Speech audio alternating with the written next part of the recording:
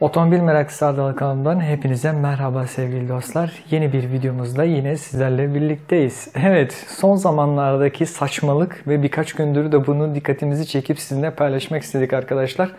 Adamlar e, pazarlama sitelerinden e, araba satmaya başladı.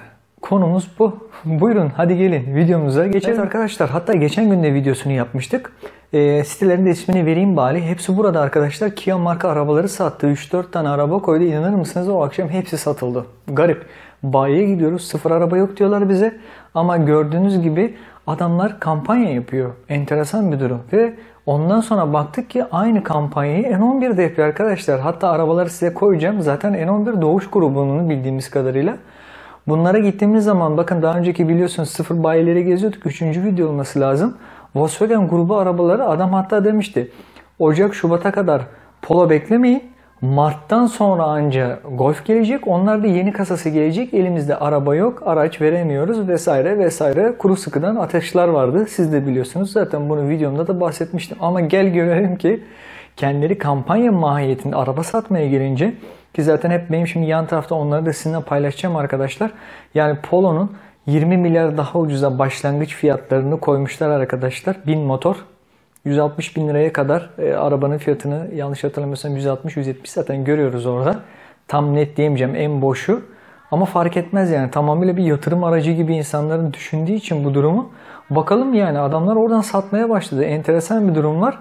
Aşağıda açıklama koşullarını da izlediğimiz zaman arabayı 2 hafta içerisinde teslim edeceklerini ve İstanbul'daki bayilerden alacağını söylüyorlar. Bu da zaten işin bir diğer boyutu arkadaşlar. Yani İstanbul'daki arkadaşlar bilmiyorum hani giden bayilere var mı? Bursa'da gittiğiniz zaman bu arabaların hiçbirinden bulamıyorsunuz arkadaşlar. Zaten bunu bir kere açık ve net söyleyelim. E, tek kişinin alabileceği, ikinci kişinin üzerine başka istediğiniz zaman noterden değiş olması gerektiğini, paranın nakit verilmesi gerektiğini vesaire vesaire. Tabii ki yani ben görmediğim, duymadığım bir şeye kalkıp da internetten onay açılacak ve ben ona 180 bin liradan başlıyor arkadaşlar. 170 bin liradan kalkıp 350 bin liraya kadar Tiguan, T-Roc, Polo, Golf, Golf 211 bin liradan başlıyor. Yani normal satış fiyatına oranla 2-3 bin lira daha ucuz. Yani çok enteresan bir durumla karşı karşıyayız.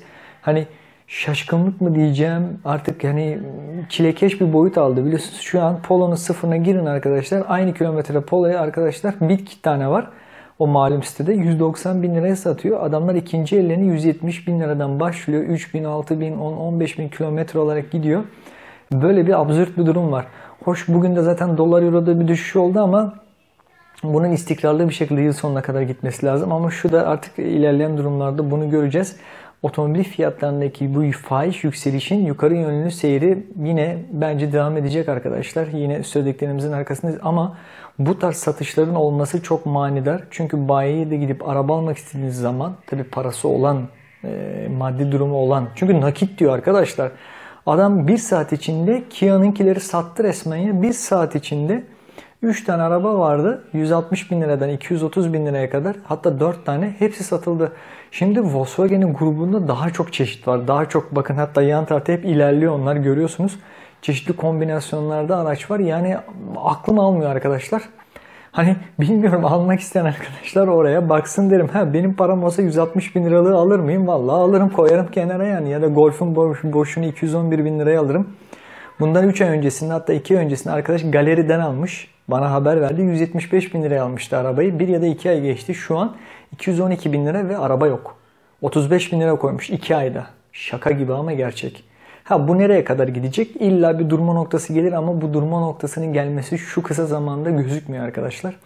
Ee, bunu tabii ki bekleyip göreceğiz. Ee, ama e, bu çalkantının arasında tabii ki düşüş beklemek biraz e, saçmalık olur. Ama şu anki durumda inanın çok büyük bir saçmalık.